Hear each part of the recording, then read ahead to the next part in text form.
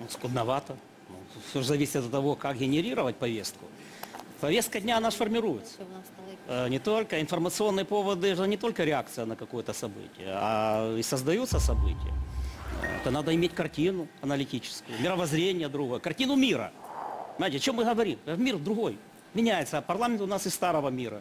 Он вчерашнего, позавчерашнего дня. Ну, нравится, ну так оно есть. Хорошо. а Поэтому откуда- надо готовиться. а Откуда браться, а откуда браться темам в политической повестке, если фактически мы в январе видим неработающий парламент?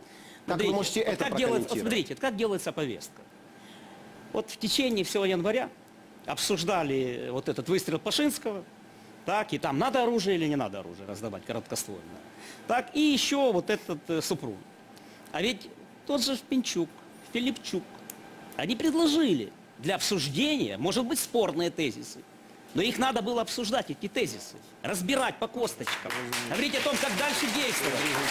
Ведь, ну давайте говорить, но, но не самые ж глупые люди об этом говорят, ну и не самые э, и и влиятельные люди, если говорить о Пинчуке. Ну, наверное, о чем-то он знает, наверное, о чем-то думает, и, наверное, ж, э, Вадим, вы- любую правильно. тему, согласитесь, любую тему, которая касается жизни государства, его жизнеспособности, в первую очередь должны обсуждать, конечно, и СМИ, но во вторую, наверное, очередь, в первую очередь политики. В данном случае Политики даже депутаты, обсуждали? которые А влияют и на внешнюю, и на внутреннюю политику страны. Я снова подвожу вас к этой теме. Почему в Украине месяц не работает парламент? Может ли себе страна в нынешнем положении, в условиях военных действий и экономической ситуации, которая у нас есть, себе позволить такую роскошь?